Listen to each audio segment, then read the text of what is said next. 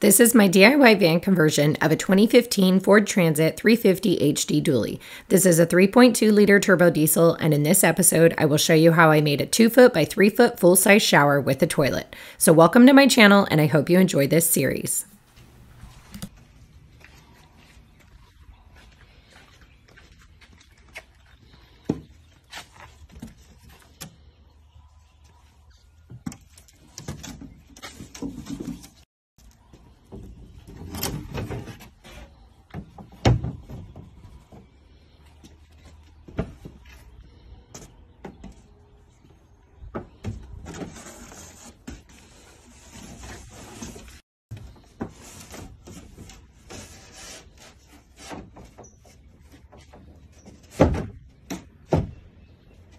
like glove.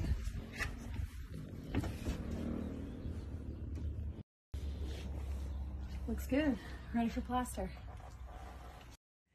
Okay, I'm trying to get the other shower walls up. So, um, how I did it is I basically take a paper bag like that you get at grocery store, and because there's a curve up here, I just tape it to this top section and just get the curve. And then once I have that, I bring it out to my plywood. So here's the curve. I put the straight edge along the outside of the shower, and this is the van wall. So what I did from there is I measure the entire length um, or height, sorry, of the straight wall. And then at like one foot, two foot, three foot, like every 12 inches, I measure across and get a different measurement because vans are curved. So I've already done the measurement. So you can see how I basically this line is kind of curving curving in and so and I'm sure I'm going to have to like make some adjustments, but at least the main part will be done. I'll take with the opening of the shower and just do little trimming areas. But um, that's the easiest way I found, and it's pretty accurate.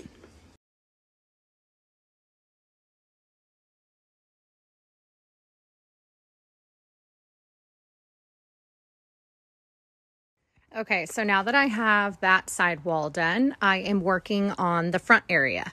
Um, so I was thinking because I have my windows the way that we did them, um, kind of mimicking that over here.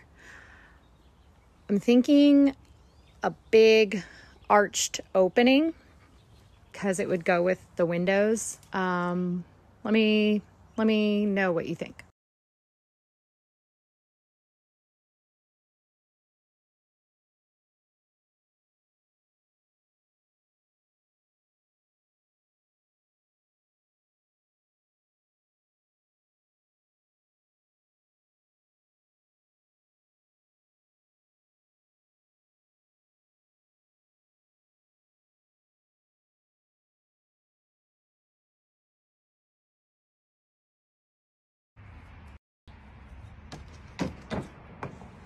And it's an arch.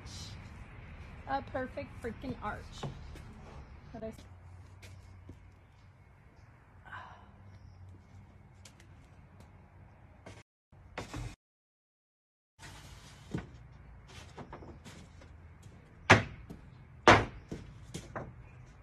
Bada freaking boom.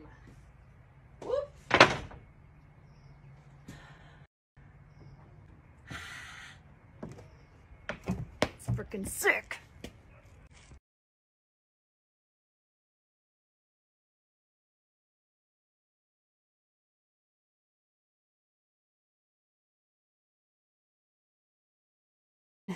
Going up here. And so this is where the handle will be. And then I'll mount the bidet shower sprayer up there. Our toilet will be sitting sitting here. And then this is currently, this isn't even mounted yet because we had the drain put in and that is the ground out there. So this tail piece will go straight down into the gray tank that'll be under there. And then I have a couple options.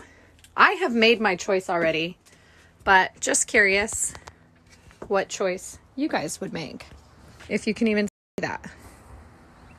Here's the rest of the van. It's like a gray. that one fell. And more of like a marbly look. This part, which holds the tailpiece on, see I left one on, it had two of those, one on that side and one on that side. I cut that one off already and I cut that one off. So now when I put it in, it will be able to sit in there flush. Um, no more wobbling. So my first plan is to glue this down with liquid nails. And then once, I'm probably going to need to let it set for a little bit. Um, and then I need to work on getting the walls and the window figured out. Um, I might have a solution for the window. We're going to try it. Okay, so what I'm using is liquid nails, um, adhesive, and this like shower pan is super annoying because it has all these round things that I'm going to have to put the glue on and then I'm going to put it across like all the edges, which will be going across these two by fours. So um, it'll be glued all around the edges and on the bottom and um, and then I'll have to figure this front part out. And then all of these walls are not like actually up. Once I have that in, I'm going to take these walls off and they will um, like the bottom parts will actually go on the inside of the shower pan because that's how the water, it'll be waterproof that way. Um, but we'll get to that later. Let's glue this down.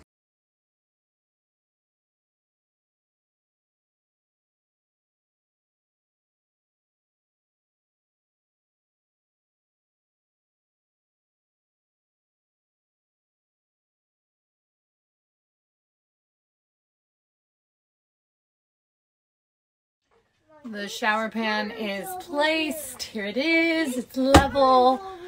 Hopefully it's where it needs to be because it's down. I don't know how I'm ever going to get it up. Okay, so now that this is down, I can kind of see, show you what I mean. Um, so this board is obviously not in. Um, and what needs to happen, see how it is right now, like the shower pan's here and the board is behind it. Well, it's, if I can grab it. Okay, real quick. So I pulled this out. This is the ledge of the shower pan. This will be sitting like all the way to here. Um, and then you'll run like silicone across that so that it will be waterproof. So these I had just like kind of cut out and sitting, I didn't like finalize them. So I'm going to need to trim this a little bit because it can only go to right there and it was all the way back. So I'm going to trim some off the bottom. This wall and this wall are the easy ones. This is the horrible one that I need to figure out.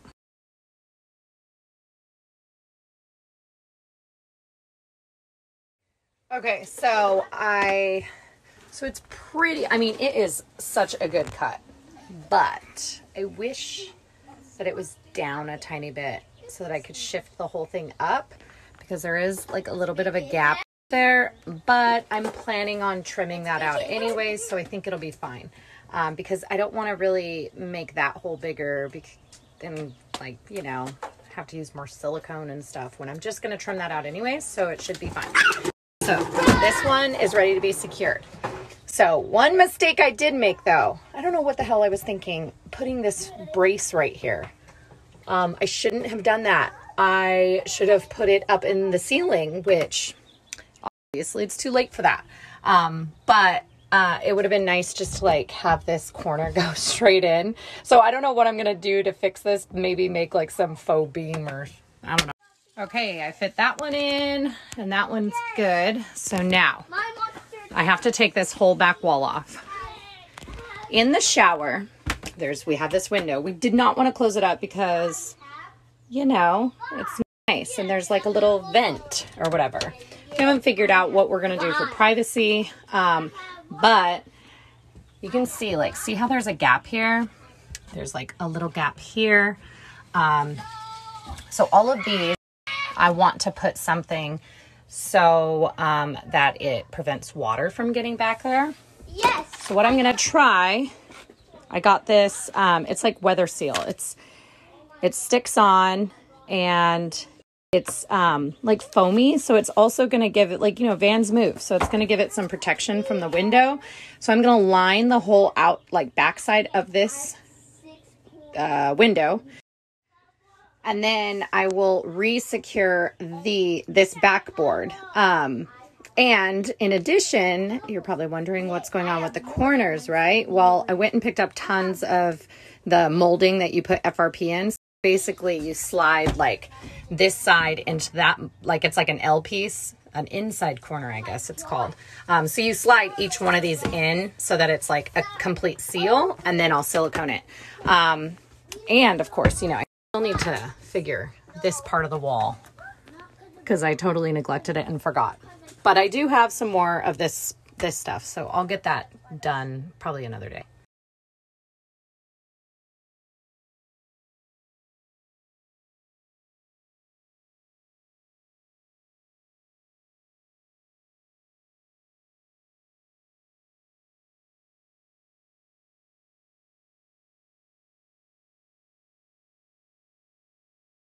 Okay, so I placed it back in. You can see, so it's not like a gap. Um, hopefully this will work. You know, it's not like this shower is going to be like a shower. I mean, we have a bidet shower head. Um, and we have like a 24 gallon water tank. You cannot take long showers in a van. So it's like, I mean, wash the parts, get out real quick. So this, I think, is going to work. Um, let's put the walls back up. Or I need to cut this back one still. And then the walls will go up and this place will no longer look like this hodgepodge of wood. Okay, so these are like the FRP um, borders. So basically, this is an inside corner. You can see right there. So I slide this side in. Um, this is going to be like impossible I have it done over here. I'll show you. So see how it's like slidden in. Um, and that way I'll, I'll put silicone there and then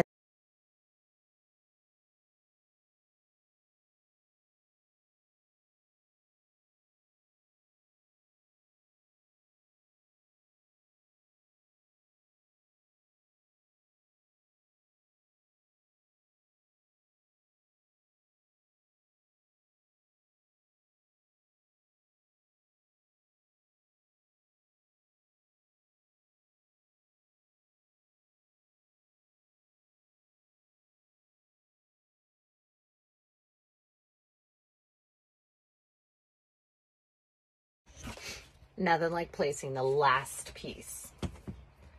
Got my cut. Taking it off.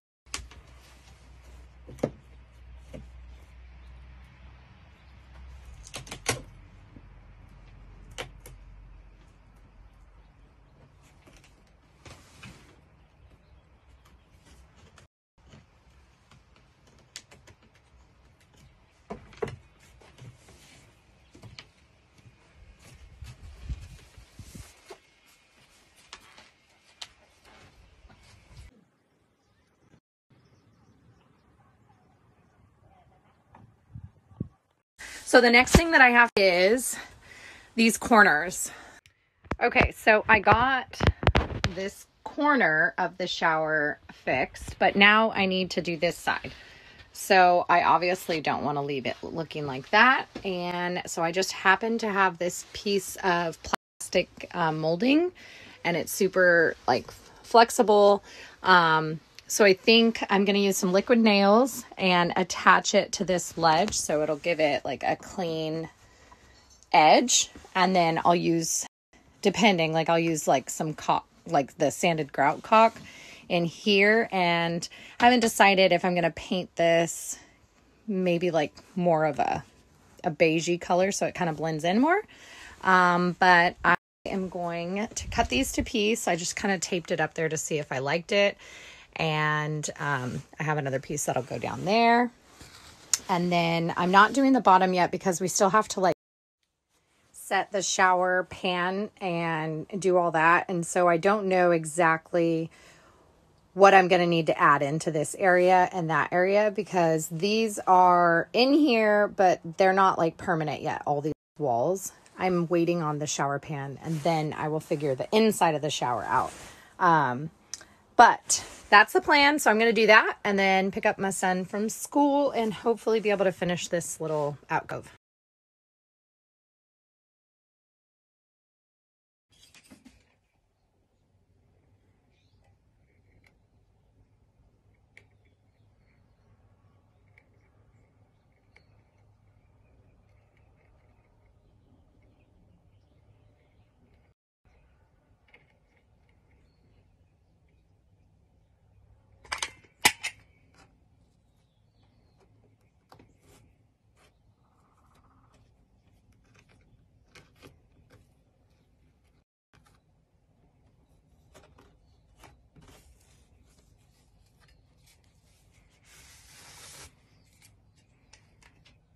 Corner and the shower opening.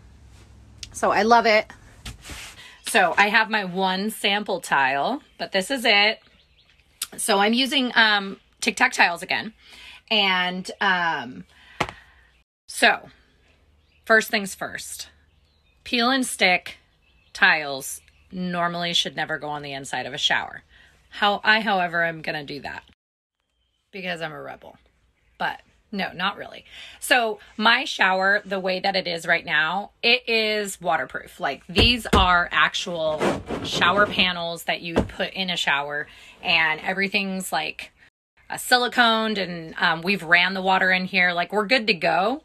But I wanted more of a tile look. And since this is in a van, and like I've said multiple times, you don't take long showers in a van, and it's not going to get like drenched in here. I mean, this is our shower head. It's literally a bidet with Oh, there's still more water in there. I forgot we have the water on, but you know, you squirt it. It's not like it just runs. Wow, I got water all over.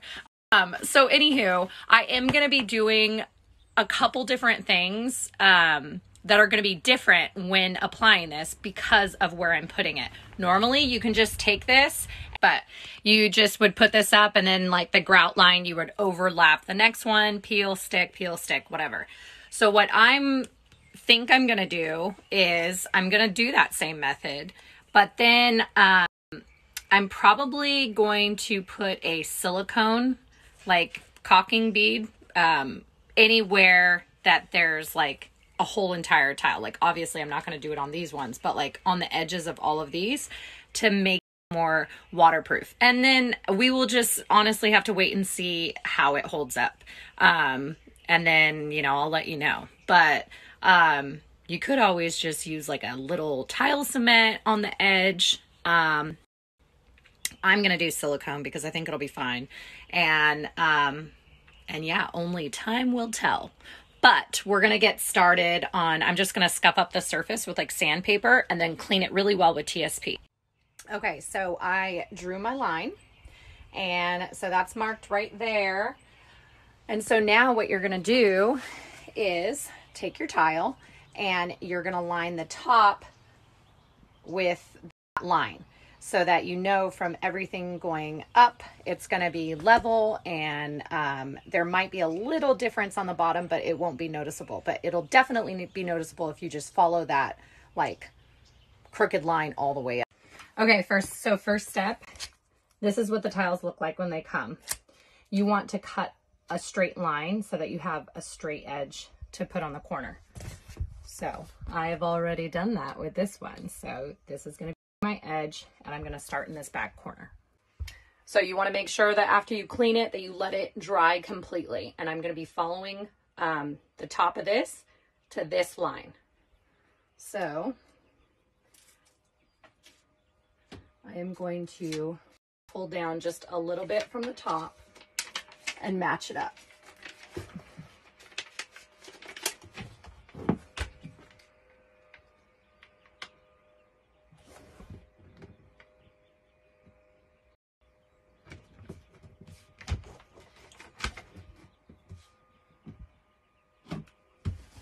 And then once I get that part done, I'm gonna pull the backing down like this and apply pressure and have it stick completely there. Boom. Already tiled so much.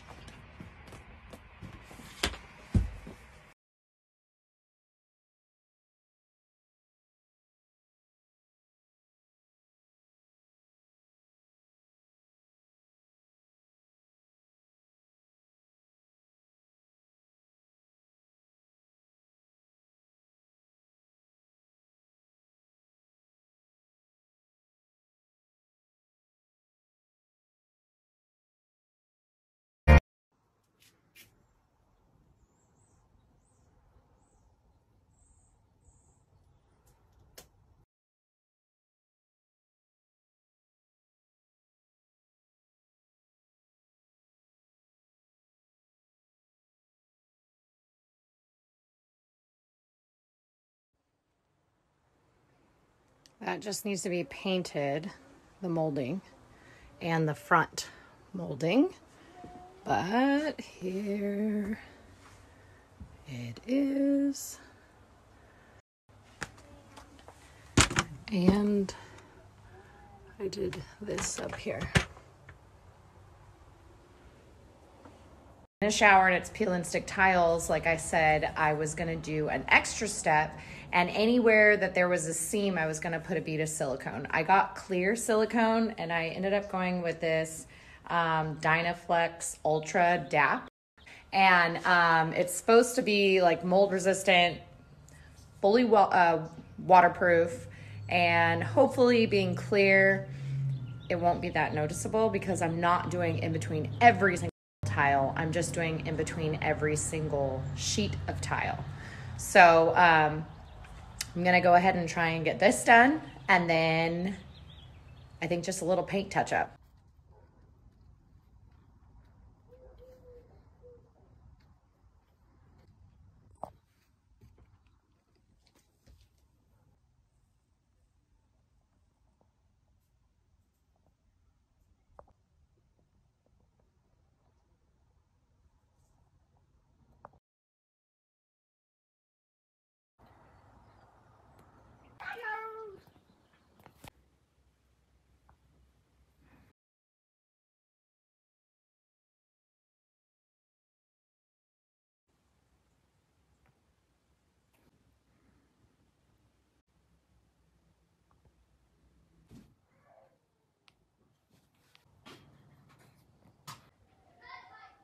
Thanks for watching and be sure to tune in next week to see how I made our sleeping arrangements, complete with a queen size bed. I hope you subscribe and like this video and we'll see you next week.